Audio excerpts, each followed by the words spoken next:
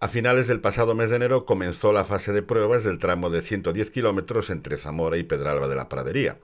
Primero con las pruebas de carga en viaductos, que se prolongó hasta el mes de abril.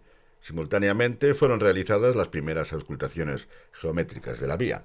En junio entró en la línea el tren laboratorio BT de tracción diésel para realizar las primeras pruebas dinámicas de vía y catenaria con velocidades hasta 200 km por hora.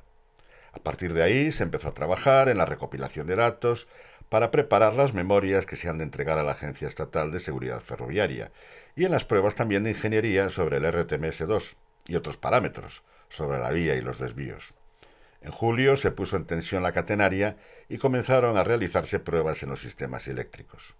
Será ahora, en el mes de noviembre, cuando llegue la segunda batería de pruebas dinámicas, esta vez con el tren Seneca, con pasadas por la línea a velocidades entre 200 y 350 km por hora, a las que seguirán las de fiabilidad.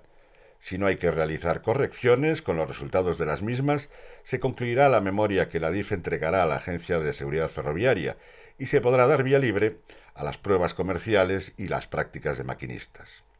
Ábalos adelantó el pasado 18 de septiembre que la línea estaría operativa en los primeros meses de 2020 y esta semana la DIF ha concretado más. Será en la próxima primavera.